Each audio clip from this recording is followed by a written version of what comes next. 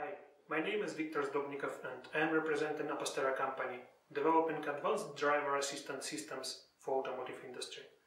Today, I invite you to Computer Vision Hackathon, organized by Hackathon Expert Group, which becomes a good tradition. Nowadays, machine learning and computer vision are growing extremely fast, showing exciting results worldwide and in Ukraine. One day, you may find that the problem you are solving for years became a student's task.